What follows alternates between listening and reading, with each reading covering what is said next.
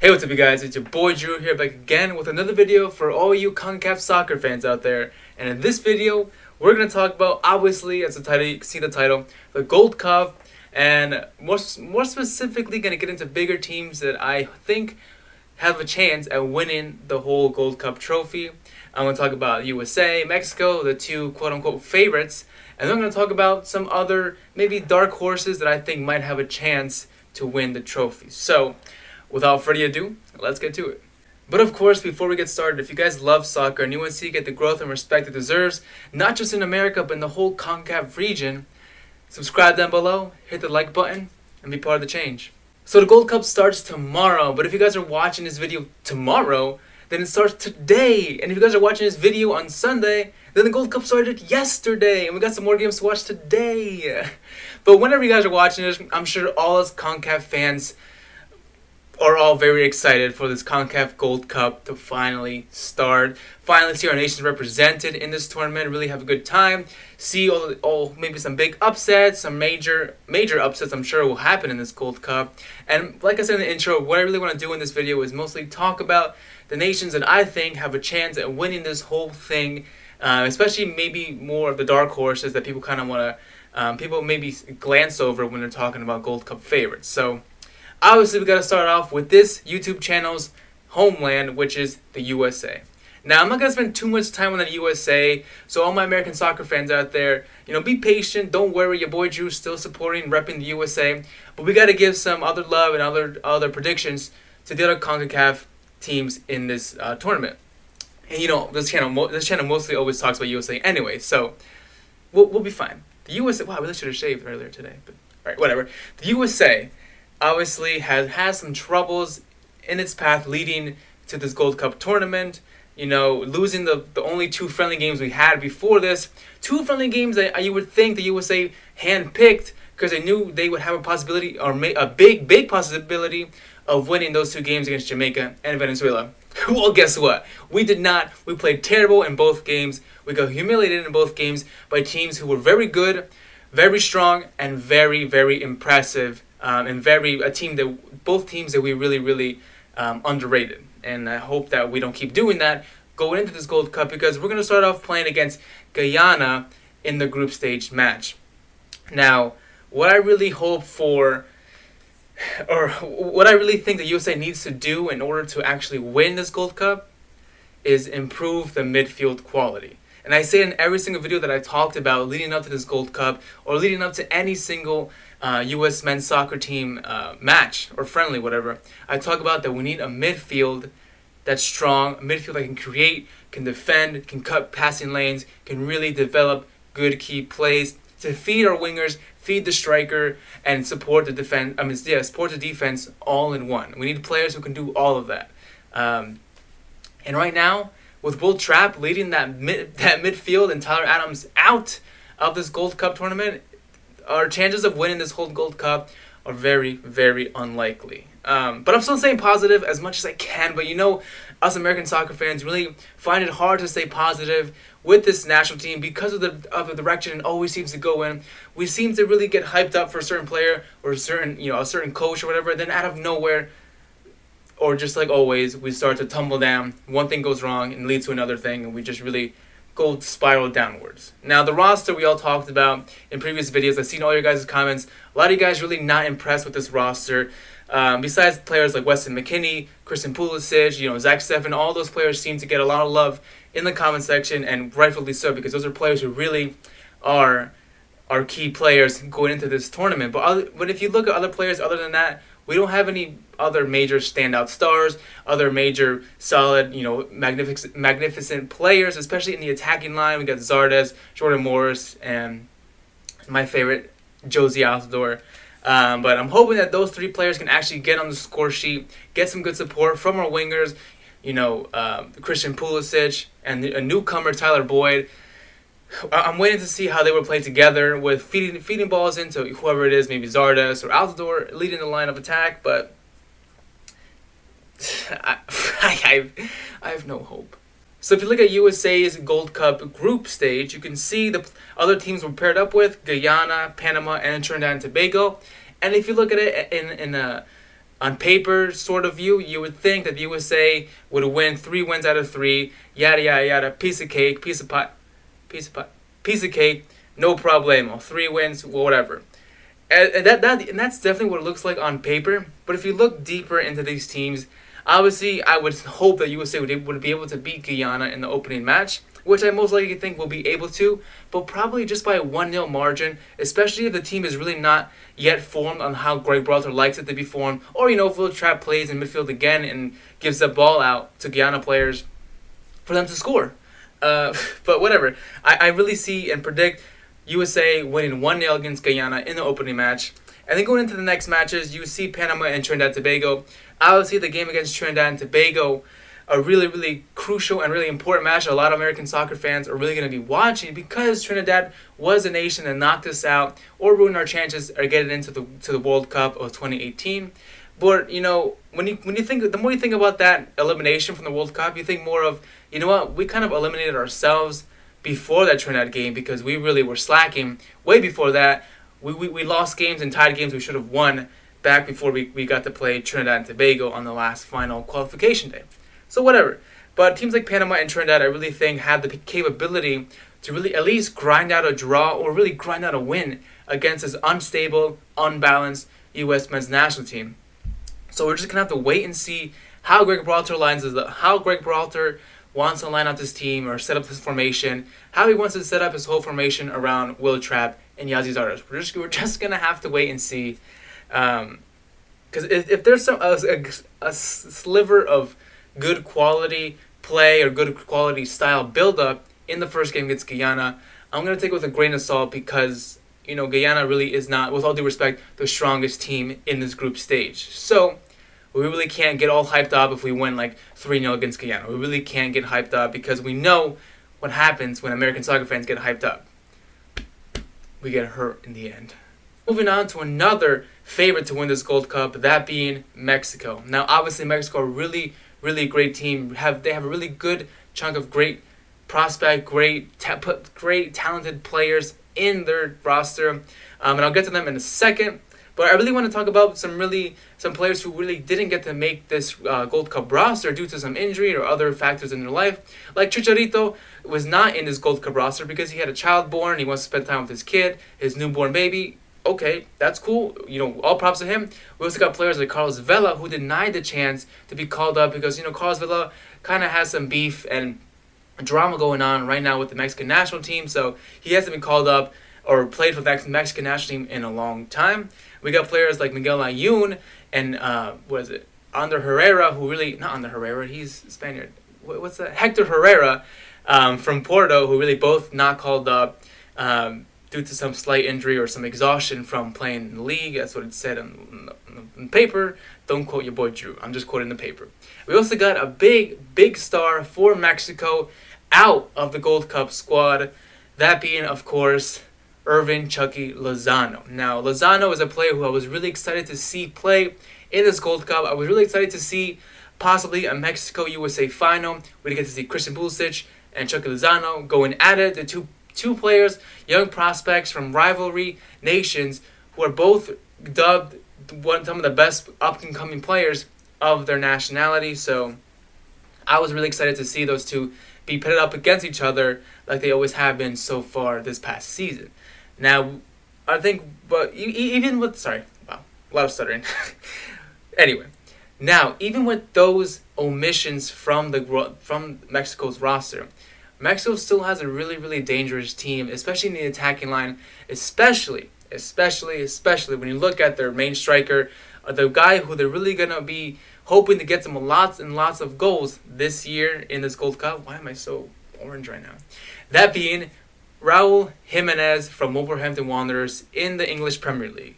Now, Jimenez had a really, really great season with um, Wolverhampton Wanderers in the EPL, scoring 13 goals, giving 7 assists in 38 games for the league. So he really was on fire uh, in this his last campaign in the EPL. Really, really a good quality striker, really, really good player, really rejuvenated his career since joining Wolves.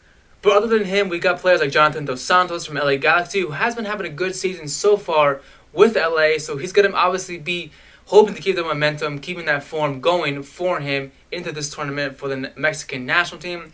Also got their you know their world their world famous goalkeeper Guillermo Ochoa, who had like so many memes for the 2014 World Cup.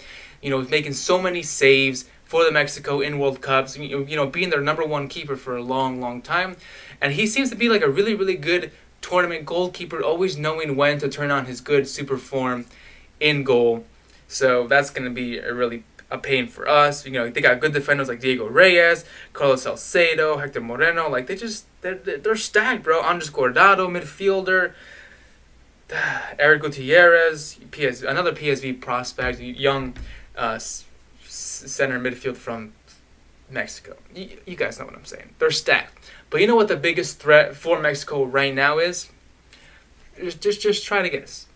It's Tata Martino, okay? It's their manager, Tata Martino. Obviously, one of, you know, a, a manager who really took Atlanta United to great heights in their first season in the MLS. A manager that Atlanta United really wish was still with them because he brought them so much glory and he's such a good, like, he's he really rejuvenated his career ever since being sacked by Bar- as as Barcelona coach a couple years ago.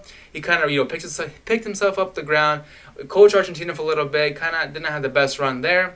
You know went to went to MLS, got with Atlanta United, really helped them, won stuff with them, and then got moved up to the Mexican national team. Now obviously like I've said, I like uh, like you guys know, he didn't become the USA coach like we all wanted him to because of a language barrier. But obviously, he only mostly speaks Spanish, so why not be coach of the Mexican national team where they speak Spanish as well? And this could have been the worst thing that could have happened to us because now Mexico has a really good good squad, good key players, good prospects in their squad, but they really need a good manager to get them all together, get them in line, get them set up right, so they can actually really activate the really, really great potential of a national team that they are. And now with Tata Martino leading the helm, or at the helm of this national team, they just look like a really big, big threat. As you can see, they had they won their last two friendly games before this World Cup, before this Gold Cup, in flying colors. So that's gonna be. This video is actually turned out to be very, very long. At least what I can see in my camera. So I'm gonna keep keep moving forward. So if I talk fast, I'm so sorry. I just don't want it to be like a 30 minute video because nobody likes 30 minute videos. And it takes like three hours just to upload to YouTube. So anyway, let's talk about a dark two dark horses real quick. First one, Canada. Canada obviously is a dark horse. You know, Canada's a team that really didn't have much luck in previous seasons um, in, in national team tournaments, but I feel like they're a nation, again, under the radar that's really been developing young players, develop, developing their national team, their roster, their squad, under, like I said, under the radar. No one really paying attention to it because it's not USA or Mexico. So why would they pay attention to it? But they got good players in this team. You know, they got a good keep, good, good goalkeeper in Milan Borjan, who plays for Red Star Belgrade. They got players like Jonathan Osorio from Toronto FC. Right now, he's got three goals, three assists in 12 games for Toronto in MLS. So he's really on fire right now. Another player hoping to bring that MLS momentum with him to this Gold Cup tournament. They got a youngster prospect as well, just like we have Pulisic. Mexico has Lozano.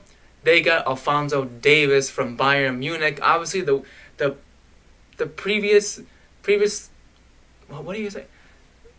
He used to play for he used to play for Vancouver Whitecaps. Now he plays for Bayern Munich. Okay, he's previously a Vancouver Whitecaps player. Now he plays for Bayern Munich in the Bundesliga. You know, I don't think he's really featured for the team, maybe just once, like as a, as a senior uh, senior appearance. But for the most part, they seem to be really happy with having Alphonso Davies there in their you know in their youth squad or in their senior team, whatever. He seems to be really really great prospect, and I think this tournament will be the tournament where he's going to be able to shine and show the world and his maybe and his home club that you know what I can play, I can hang with big boys, so let me get in, fill Franck Ribery's spot or Arjen Robben's spot. And before we wrap up Canada's prediction from your boy Drew, I want to talk about another player who I think will be a major threat to other nations in this tournament and a major, major boost for Canada in the attacking line, and that is Lucas Cavallini from Puebla FC. Well, he's from Canada, but he plays his soccer in Puebla FC in Liga MX. Right now has five goals and one assist in 16 games with the Clausura and 6 goals, 2 assists in 17 games in Apertura. So he, altogether, he's, he's had 11 goals and 3 assists. So he's really on fire as well. A good striker that really seems to be going under the radar. When I saw his stats, and I was like, dude, why don't people talk about him much? Like, is, I know he doesn't play for like one of the biggest Mexican Liga MX teams, but still, like, I feel like he would get some more recognition. But maybe this will be the tournament where he'll be able to really make a name for himself, a name that people will actually be able to recognize around CONCACAF and then maybe around the world. I really dub him to bleed, not dub him. I really think he will be able to score lots of goals in this gold in this Gold Cup. So uh, you guys can hold me to that because I really think he's got it in him. And now if you look at the group stage for Canada, you can see they're actually lined up with Cuba, Martinique, and Mexico. So obviously you would think that Mexico and Canada would both be able to get out of this group stage. I predict, your boy Drew predicts, Mexico will probably finish up top, Canada second, and then Cuba and Martinique. So I think Mexico will obviously top the group, but I don't think they'll be able to really get an easy win over Canada. When they when these teams finally meet up in this in this group stage, I think it's going to be a really really even match. It might end goalless. It might end 2-2, 1-1. I, I really wouldn't put it past these teams to end in a draw, and I think that would work out in Canada's favor. And the final group I want to talk about, obviously, that being the team who defeated us on the way to the Gold Cup, Jamaica. You know, I think a lot of people aren't hyping Jamaica up as much as I am because I think Jamaica really has a good, solid team. The fact that they were able to beat the USA with their quote unquote B or C team doesn't matter. Jamaica also didn't have their A squad playing against our A squad. So I think that Jamaica still has a lot more to show the world and show this CONCACAF tournament that, you know what, we're just not some the, the same old team that, you know, you guys used to push around. They're a team that really is developing. They got players like Leon Bailey, coming up in the ranks. Obviously, already an established player in the Bundesliga, one of the best players in that league for Bayer Leverkusen. So I really think he's going to come in here, and this will be a, a, chance for another player to really show his colors and really shine bright for his national team, just like hopefully Pulisic, just like Alphonso Davies, and just like Leon Bailey. I really think Jamaica has a strong chance of causing some major upsets with USA, Mexico, and Canada. You know, obviously the, the, Jamaica is not in the group stage with either either of those two teams, so they'll be able to probably you know get through the group stage qualifications pretty easily, I would say, and then probably cause some upsets in the way if they're if they're formed right, they're set up correctly, they really give them give it their all, don't give up. They'll be able to reach their third consecutive Gold Cup final and possibly win it this time. And and you know and if it's going to be a Cinderella story, I would say, you know what? It would fit perfectly with Jamaica. You know, losing the last two Gold Cup finals to Mexico and USA. Now coming back, beating both of them along the way. Probably meeting Canada or something would be, would be really cool. And then defeating whoever it is in the Gold Cup final. And finally, getting that Gold Cup title for them. Well, that's my Gold Cup preview on teams I think have a good chance at winning this tournament. Obviously, we've got teams like Costa Rica, who I failed to mention in this video, but I really haven't been impressed by Costa Rica all that much in recent times. So that's why I gave that that last dark horse spot to Jamaica over them. But anyway, regardless, I want to wish good luck to all these CONCACAF nations out there. Good luck on the field. Good luck in this tournament. I hope you guys all give it your best. You know, I think if we all give it our best, really showed some really good quality soccer, that the rest of the world would be able to respect CONCACAF as a stronger, better, competitive uh, region of the world of soccer. You know, we could be the best nation. I mean, could be the best region in the world if we really, all of us, really just supported our teams and and and, and just gave it our best. And I really hope we all do that this tournament. I really hope this is the year that turns fans into the focus of soccer in CONCACAF, especially. So. Thank you so much for watching. As always, I'm going to be covering the Gold Cup as it goes. Big any big upsets I'll be covering on this channel. Any obviously any USA game I'll be covering as well. And if you guys want some Canada or Mexican uh, national team coverage on this channel, let me know down below, and your boy Drew will definitely put it out there for y'all. So as always, have fun playing or have fun watching. Thanks for kicking with me, and I'll see you next time.